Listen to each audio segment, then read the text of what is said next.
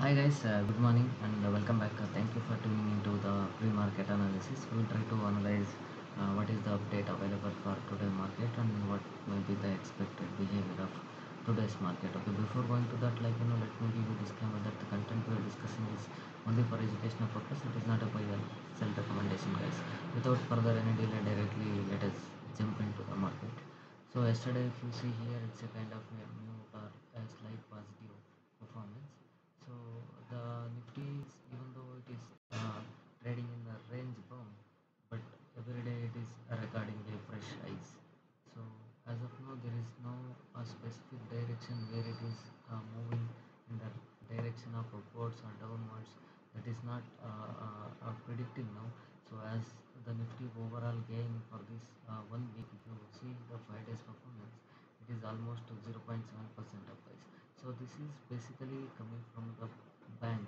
So one of the major contributor for this such a good rally was HDFC Bank.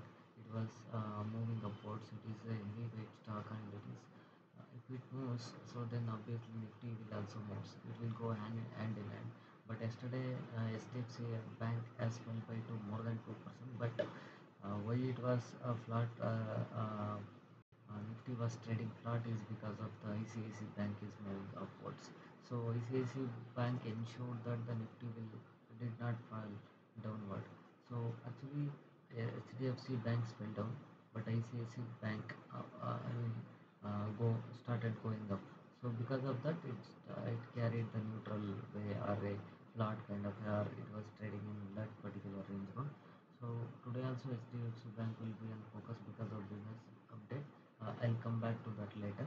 For now, the the focus for today is like you know uh, maybe as we do not have any reversal signal, Nifty will continue to uh, move in that particular uh, range bound or it may uh, break this level also 24400 level also it can break and the immediate uh, uh, resistance will be 24500 so if it breaks down then again the support will be 24200 level so as of now this is what the predicted levels for the nifty.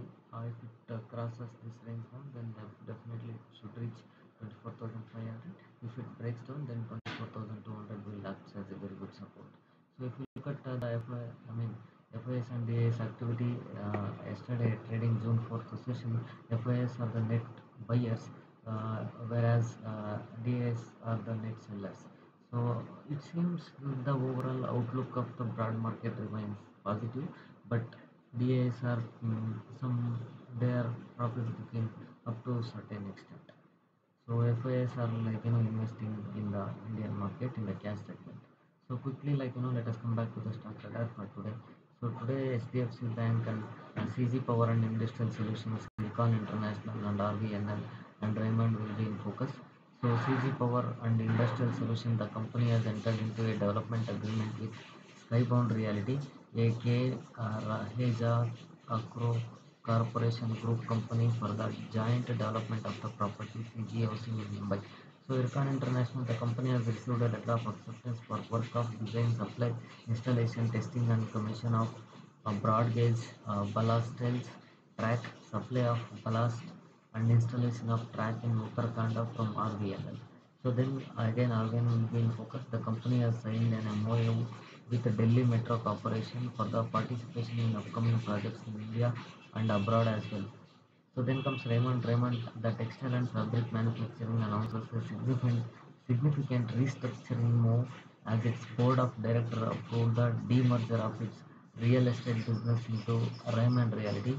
So again, uh, if the demerger happens, then again whatever the Raymond shareholders will be there, they will get one share of uh, Raymond Realty as well.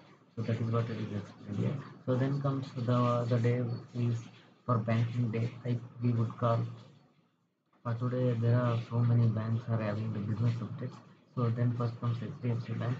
So for quarter one of this financial uh, 2025, QOQ has been released. Actually, advances fell 0.8% to 24,870 billion. Deposit down 0.03% to 23,790 billion. So CASA deposit dropped 5% to 8,635 billion. Though then comes Punjab National Bank. So this is also year-on-year update for this financial uh, here quarter one global business jumps 10.3 percent up and uh, global deposits grow 8.5 percent uh, then global advances also uh, up by 12.7 percent guys.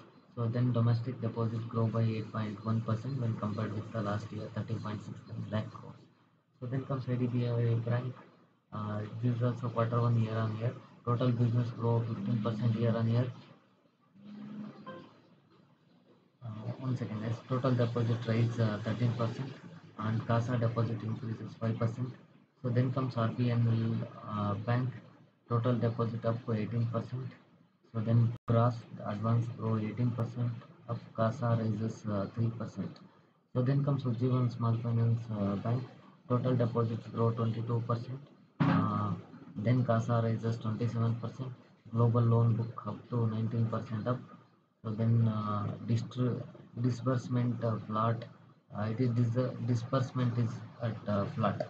So these will be the uh, stocks will be in focus and you would say today banking sector will be in focus as we have a business updates uh, and few of the other stocks from non-banking uh, sectors will be in focus.